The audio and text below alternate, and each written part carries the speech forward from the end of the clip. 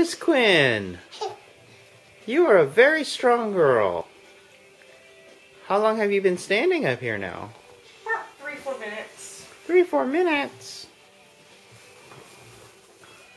Hi. Zoom in on me, Dad. Are you gonna giggle on us, Quinny? Hello.